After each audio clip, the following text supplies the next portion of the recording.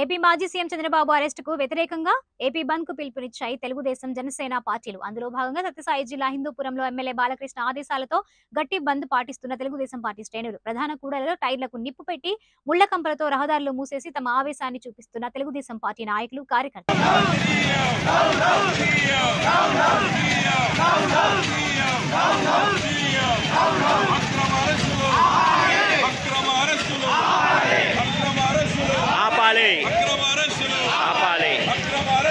ఆపాలి ఆపాలి ఆపాలి బాబు బాబు బాబు బాబు బాబు బాబు